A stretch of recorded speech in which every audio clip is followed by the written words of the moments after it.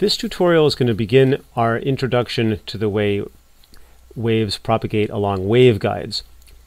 And that's something that happens using total internal reflection. So to get this project started, we're going to talk in this tutorial about the slopes of electric field when there are interfaces. We're going to consider a case that's not total internal reflection, which is easier, and then we're going to think about the case of total internal reflection. So since we're considering total internal reflection overall, we want to consider cases where a, where the medium where a wave is propagating is an n1 which is greater than a medium that it's arriving at at an interface n2. So this could for instance be glass or the core of a waveguide and this would be the cladding of the waveguide or air, something of a lower refractive index. So let's start out by considering the case where the incident angle theta 1 is less than the critical angle. I'm going to quickly throw up here the typical geometry that we always use. So we have an interface, we have an incident beam with our amplitude E incident, which in normalized units we'll say that it has an amplitude of 1. And this is an S polarized beam. We're going to confine ourselves to that discussion. Our coordinate system here is going to be written this way. We'll, we'll describe the uh, normal to the interface as the x hat direction, up is y hat, and out of the board at u. So the direction of the polarization is z hat. We're going to look at this at this situation in two different orientations, which is why I'm drawing this here for you now. So we've got S polarized light reflected and S polarized light transmitted. This is the glass side. This is the air side. So that's our N1 and our N2. And we have a reflection coefficient, R sub S, and a transmission coefficient, T sub S, for the strength of the electric fields that, comp that comprise this plane wave and this plane wave. So as I said, let's look at this in a different orientation. And that different orientation is going to be, we'll still have the same interface, but we look at that electric field coming up out of the board at us. We're now going to make that be vertical. So the incident wave, I'm going to draw that really close to the interface. Here's that amplitude 1 oscillation up and down at the interface. And then we've got a reflected wave. In the case of glass, going towards air, the refractive index here is smaller than here, then the reflected beam has a positive amplitude when the incident beam has a positive uh, sign as well. So that's the relative phasing of 1 and RS. They go up and maximize at the same time vertically. And then we've got a transmitted beam whose amplitude looks like this, TS. And it is really true that TS is greater than 1. This has been discussed elsewhere, and because we're in a more rarefied medium, air versus glass, there's nothing wrong with the electric field being larger than the incident electric field. It does not mean that the transmitted Poynting vector is larger than the incident Poynting vector. That would be an energy conservation problem. Just to be clear about the coordinate system here, we are now defining this upward direction, as I said, to be the z hat direction, and the normal to the interface is still x hat. That leaves the y hat vector going into the board. The important thing here is the reflection coefficient, RS. As drawn here, and as we have solved for, we know that the reflection coefficient has got the same phase as the incident beam. So R, the reflected beam has the same phase as the incident beam, and what's different of, is the amplitude. So this is going to be the opposite of what we find when there's total internal reflection, where the phase will be different, but the amplitude is the same. But for now, we've got same phase, different amplitude. And let's think about how that amplitude changes as the angle changes. The reflection coefficient goes gets larger as the incident angle gets larger. So as we uh, come at more steep angles, we get a larger and larger reflection coefficient. Now, if we just look at the, if we picture what the waves look like in space, if I draw a little axis here just to indicate zero electric field strength, the incident wave, if we think about what it looks like right at the boundary, right here, let's choose a point where it is at its maximum of its oscillation. So there's here's the boundary right here that we're talking about. And that electric field depicted through space looks something like this. So this is a propagating electric field plane wave going this way, and I'm catching it at a moment when it's at its maximum of its oscillation right at the boundary. So according to what we've got here about the reflection coefficient, I'll draw that one in blue. The reflected wave has the same amplitude sorry, has the same phase as the incident wave. So when, when the incident wave is at the maximum of its oscillation, so is the reflected wave. But it doesn't have the same amplitude. So it's maybe this is the amplitude of the reflected wave's oscillation. And it's going to be oscillating the same way as the incident beam. So right here, these two oscillations going up and down like that, that's the same thing as these two oscillations going up and down together like that. And what's important to see here is that right at the boundary, at this moment that we've caught this wave, we see that the variation of the incident electric field versus x is zero, right? This is a maximum. So the dE incident dx is zero. Again, I'm analyzing the electric field at various points with the same y and z coordinates but different x coordinates and plotting those like this.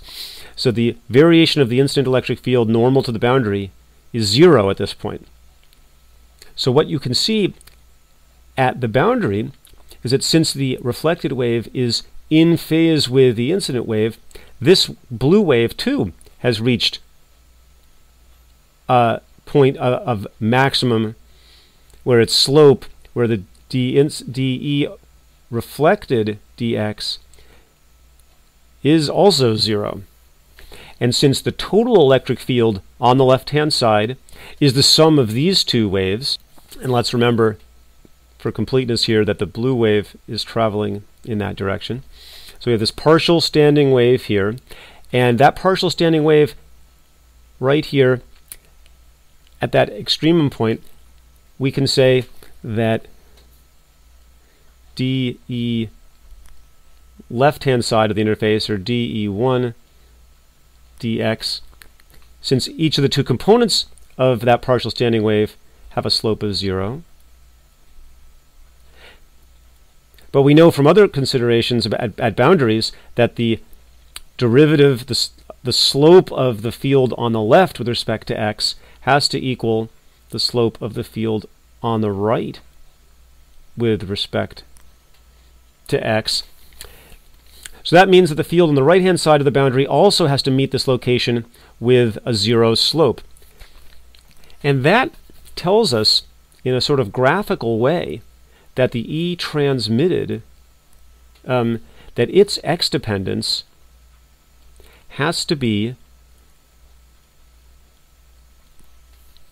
oscillatory like this. An oscillation on the right-hand side, an oscillation on the other side of this interface here, if it's an oscillation, it can here have, right at this point here, it can have zero slope. If you think about the other possibility that we're considering when we do total internal reflection of an exponential decay, like we have in, in a total internal reflection case for the penetration into the, into the air region, there is no way that you can get an exponential decay to have a zero slope. So unless the exponential decay goes on forever, which is what you get right at total internal reflection, where you can't tell the difference between it, whether it's a sine wave or an exponential decay. But as soon as the incident radiation goes beyond the critical angle, and the exponential decay has some fall off, you can no longer have, have a slope match there, so you can't satisfy Maxwell's equations this is one way of relating to the fact that we have to have an oscillating wave on the right-hand side in the case where we're below the critical angle. Now, if we consider the other case, for total internal reflection, that's when theta 1 is greater than the critical angle, of course. And what happens in this case? We now have that E reflected has the same amplitude as E incident, right? This is total internal reflection. So it's the same amplitude, same amplitude as E incident, but the phase now is different. So that's a key difference. It turns out that it's a phase lead for S polarized light. It's a phase lead, and that lead increases as theta 1 itself increases. So the farther beyond the critical angle you get, the more the reflected wave's phase at the boundary leads the incident beam's phase. And if we look, draw a picture like this of the incident and reflected waves there, again, let's go to the boundary. We consider right at the boundary, we consider a moment, choose a moment in time when the incident wave is at a maximum of its oscillation, like this. So here again is that oscillation. And if there is a phase lead, that means that the reflected wave is has just as much magnitude, but it's on its it is now on its way down from having recently reached a maximum. It's it's leading, it's already ahead. So it's heading downwards. And that means that the reflected wave looks like this in space. The reflected wave is heading this way. The incident wave is heading this way. But this guy is ahead in its oscillation, so it's a phase lead. So what you notice here, at the maximum at the maximum of the E incident oscillation, we find, unlike the case below the critical angle, where RS is in phase with 1, and they each, and when one has a slope of 0, the other one has a slope of 0 at the maximization. But at the maximum of the incident oscillation, it's now the case that the derivative of the reflected wave, dE lowercase r dx, you can see that that is negative. It's less than 0. Therefore, the sum of the red and blue curves, which is the which is the total electric field on the left-hand side, overall,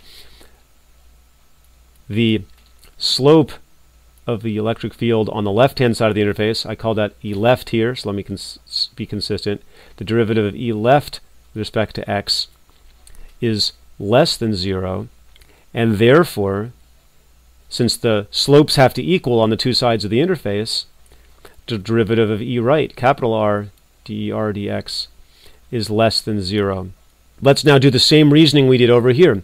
If the total electric field on the left-hand side has a slope of 0, then the total electric field on the right has a slope of 0, and that means sinusoids are what allow us to balance that boundary condition of the slope being continuous. Now we've got the opposite. We have a downward slope at that location. Therefore, the electric field on the right has to have a downward slope. That makes us start thinking about x dependence being like this, an exponential decay, not like this. You might think that it's possible to match, say, this part of a sine wave that has a downward slope with the downward slope of the electric field on the left-hand side here.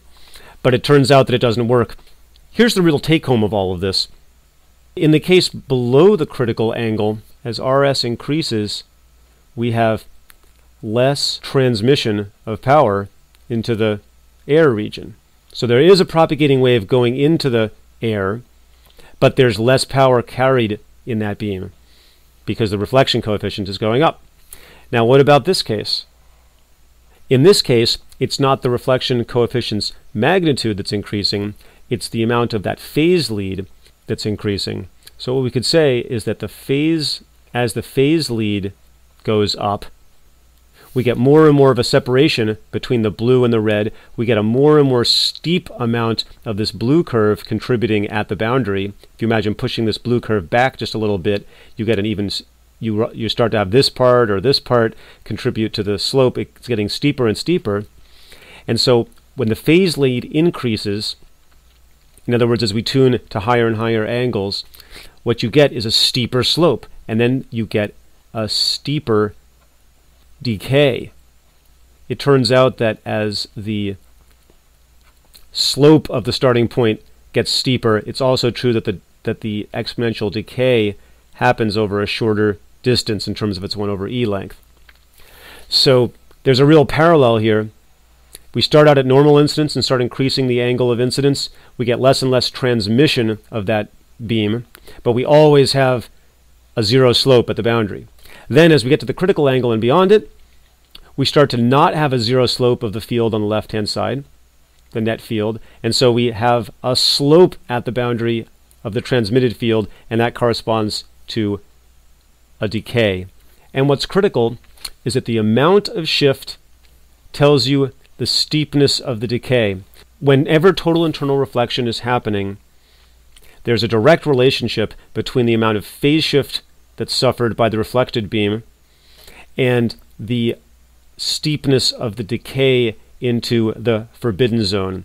And when we talk about waveguides, we're going to leverage that insight extensively.